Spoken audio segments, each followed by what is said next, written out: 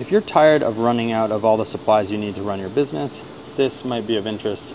So, we have two boxes of screws here, just plenty to work from. We're picking, we're assembling, making money.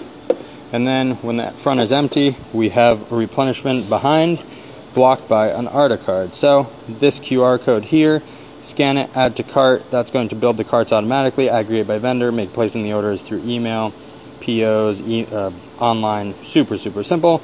And then we have plenty to last until our replenishment comes in. So we size our minimum, the amount in our second bin, to last us until the replenishment comes in. Because it's McMaster-Carr, that's going to come in super quick, so we don't need to hold a ton in inventory. And just keep on trucking. So then when you need more, you drop that in the front. This goes in the to order bin. And then when your replenishment comes in, those go in the back with your card from the receiving department and you restock it. Everyone on the shop floor actually enjoys using it because they have screws when they need them and your shop can get way more efficient.